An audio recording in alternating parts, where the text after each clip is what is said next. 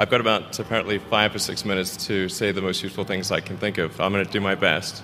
Um, the, uh, and I, I, it was suggested that I distill things down to three, three items. I think I'll, I'll go with four. Um, and I've tried, I think, I think these are pretty important ones. Um, some of them are going to sound like, well, you've heard it before, but uh, it's you know, worth re-emphasizing. I think the first is uh, you need to work, if you, if, depending upon how well you want to do, and particularly if you're starting a company, you need to work super hard. So what, what does super hard mean? Um, well, when my brother and I were starting our first company, uh, in, instead of getting an apartment, we just rented a, a, small office and we slept on the couch. Uh, and we, we showered at the, the YMCA. And uh, we're, we're so hot up, we had just one computer. So the, the, the, the website was up during the day, uh, and I was coding at night. Seven days a week, all the time. Um, and I, I uh, sort of briefly had a girlfriend in that period, and in order to be with me, she had to sleep in the office.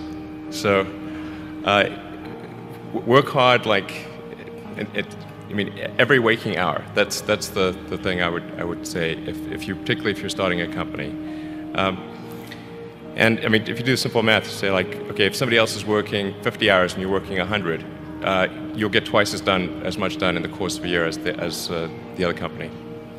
Uh, the, the other thing I'd say is that um, if, if you're creating a company or if you're joining a company, uh, the most important thing is to is to attract great people. So either be with, join a group that's amazing that you really respect, or if, you, if you're building a company, you've got to gather great people. I mean, all a company is is a group of people that have gathered together to create a product or service.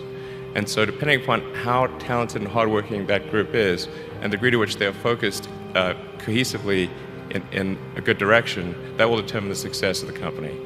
So, do everything you can to, to gather great people uh, if, if you're creating a company. Um, then I'd say focus on, on signal over noise. Um, a lot of companies get, get confused. They, they spend money on things that don't actually make the product better. So, for example, at, at Tesla, we've, we've never spent any money on advertising. Um, we, we put all of the money into R&D and, and manufacturing and design to try to make the car as good as possible. Um, and uh, I, I, think that's, that, that's the way to go. So for, for any given company, just keep thinking about are these efforts that people are, are expending, are they resulting in a better product or service? And if they're not, stop those efforts. Um, and then the, the, the, final thing is, is to sort of, is, is don't, don't just follow the trend. So um, you may have heard me say to, to, that it's good to think in terms of the, the physics approach of first principles, uh, which is rather than reasoning by analogy, you boil things down to the most fundamental truths you can imagine and you reason up from there. And this is a good way to figure out if, if, if something really makes sense or if it's just what everybody else is doing. Um, it, it, it's hard to think that way. You can't think, think that way about everything. It takes a lot of effort. Uh, but if you're trying to do something new, it's the best way to think.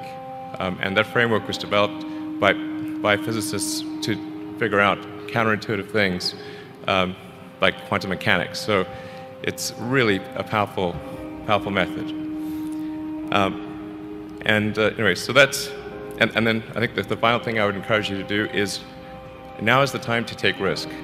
Uh, you don't have, yeah, you don't, you don't have, you don't have kids. As you, as you get older, your obligations increase. So you, the, and once you have a family, you start taking risk not just for yourself, but for your family as well. It gets much harder to uh, do things that might not work out. Um, so now is the time to do that. Uh, before you, before you have those obligations. So I would, I would encourage you to take risks now, do something bold. Um, you won't regret it. Thank you.